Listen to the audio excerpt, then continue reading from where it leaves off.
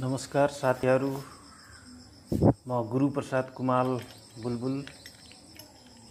आज म तपाईँहरूलाई एडिएसएस फाइबरमा सस्पेन्सन कसरी राख्ने भन्ने जानकारी गराउँदैछु। यो सस्पेन्सन हो। यो सस्पेन्सनको पहिला नट खोल्नुपर्छ। यो प्रयोग गर्न निकै सजिलो छ। कतिपयले यसको काम पनि गर्नुभएको होला। नयाँ साथीहरूलाई यो भिडियो उपयोगी हुनेछ भन्ने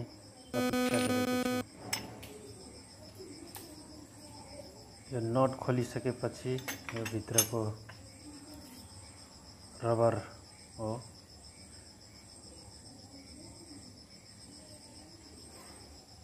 र यसभित्र यो एडिएसएस फाइबर घुसाउनु पर्छ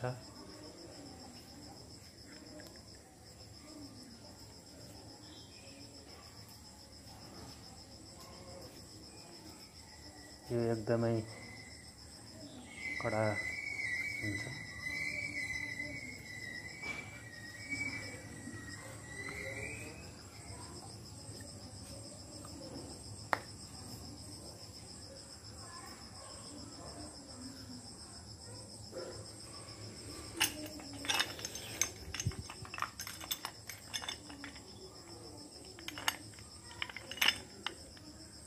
यसरी रबर राखिसकेपछि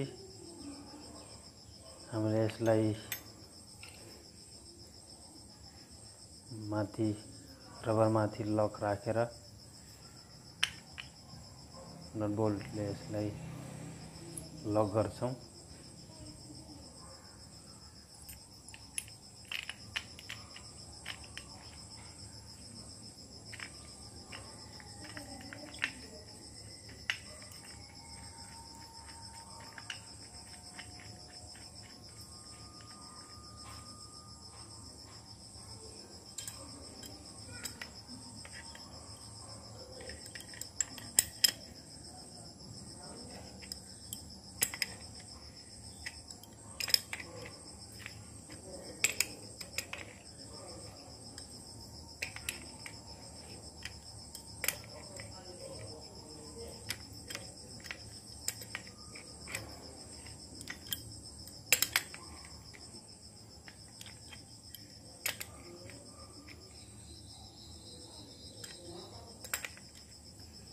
हामीले यसलाई कडासँग टाइट गरेका छौँ।